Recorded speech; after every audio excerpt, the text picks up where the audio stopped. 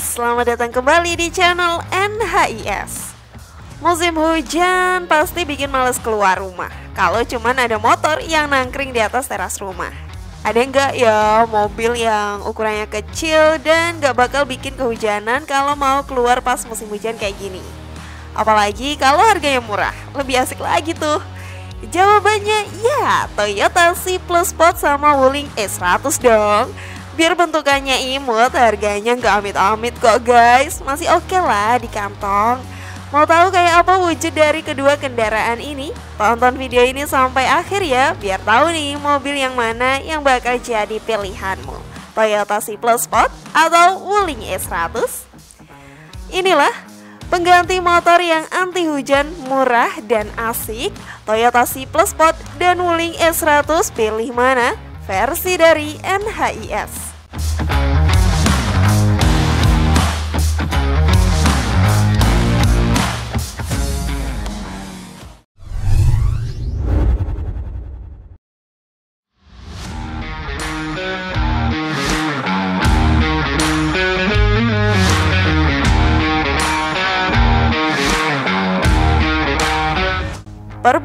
Perbandingan dimensi dan harga.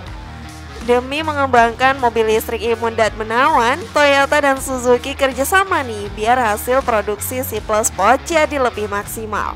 Mobil listrik Mini dengan kode 560B ini kabarnya bakal jadi mobil listrik yang harganya murah meriah dan diluncurkan di Indonesia pada akhir tahun 2021 ataupun di awal 2022. Semoga aja bener ya dan gak ada penundaan ya guys. Sebelumnya Toyota udah meluncurkan C Plus Sport di Jepang pada 25 Desember 2020 lalu. Mobil ini punya dimensi panjang 2490 mm, lebar 1290 mm, dan tinggi 1550 mm. Sementara si mobil ini tidak dipasarkan global. Toyota C Plus Sport sekarang masih dijual di Jepang dengan harga mulai dari 16.000 dolar atau kurang lebih 226 juta rupiah. Kalau dibandingin sama mobil mini besutan negara tirai bambu, kayaknya Toyota C Plus Sport harganya lebih mahal ya. Kendaraan yang diberi nama Wuling S100 ini juga masih dijual di sekitaran Cina aja kok. Di bulan Juni ini harganya sebesar 5,48 juta yuan atau setara dengan 122 juta rupiah. Dan kayaknya sih Wuling S100 emang dimensinya lebih gede dikit dengan panjang 2488 mm, lebar 1506 mm dan tinggi 1670 mm. Namun sebelum lanjut, klik dulu tombol loncengnya ya biar kalian gak ketinggalan info baru dari channel ini.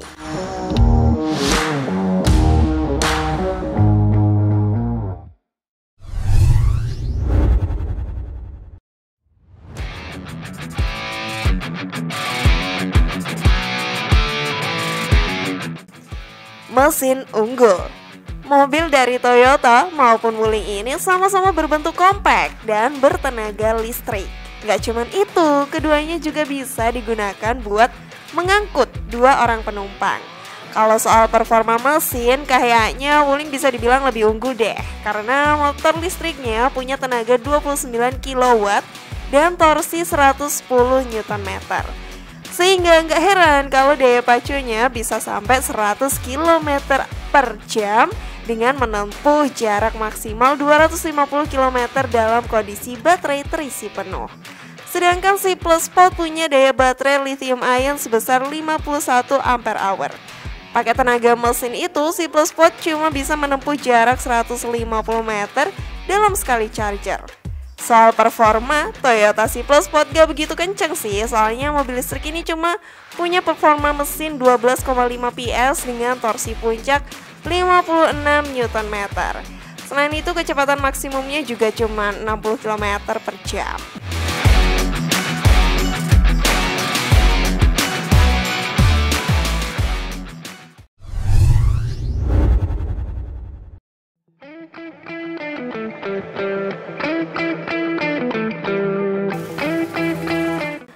Fitur keamanan Sport udah dilengkapi fitur keselamatan baru buat mobilitas ultra compact Sesuai lah sama standar kendaraan mini Fitur keselamatan yang disematkan di C Plus Spot ini pakai struktur yang efisien banget dalam hal menyebarkan dan menyerap energi tumbukan ke berbagai komponen.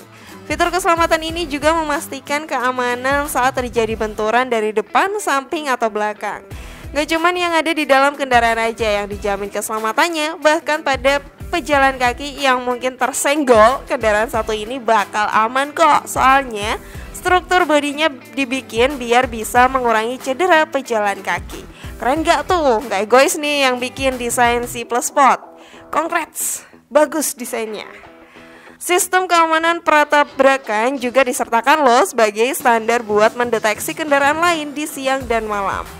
Sistem keamanan buat pejalan kaki juga disediakan di siang dan malam, tapi kalau buat pengendara lain terutama sepeda, sistem keamanannya cuma bisa bekerja maksimal di siang hari. Sonar cerdas dengan rem pembantu parkir juga udah ada kok buat bantu menghindari tabrakan atau setidaknya mengurangi kerusakan. Sehingga kalau amit-amit, amit-amit ya tabrakan sama dinding dan penghalang lainnya, kemungkinan kerusakannya kecil. Tapi perlu diingat ya guys, sistem operasi sonar cuman berlaku dalam kecepatan rendah atau minimal gak kebut-kebutan lah di jalanan. Secara keseluruhan kendaraan ini punya peralatan lengkap dari sistem keamanan Jadinya lebih tenang deh kalau ngajak si plus spot berkelana ke mana pun Kalau Wuling S100 sih sebenarnya masih kalah kalau dari segi fitur keselamatannya Tapi tetap aman kok buat berkendara karena juga udah dibekali fitur keselamatan Mulai dari electronic stability control, rear parking sensor, parking kamera, isofix, SRS airbags, 77 pressure monitoring system hingga sistem deselerasi ABS dan EBD.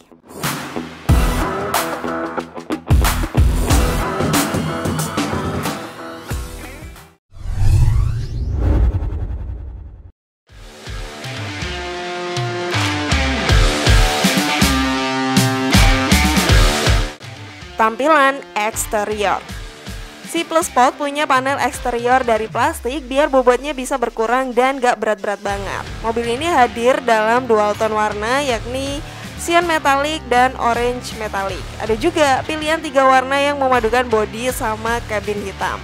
Sedangkan Wuling S100 dilihat dari sisi eksteriornya, mobil mini nggak kalah unik kok karena mobil mini Wuling S100 ini dibekali dengan warna colorful yang memberi kesan ceria.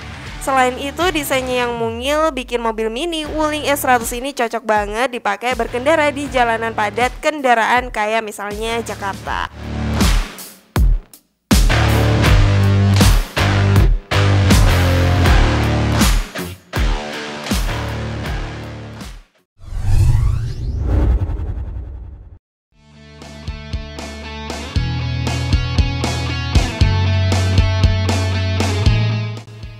Desain interior.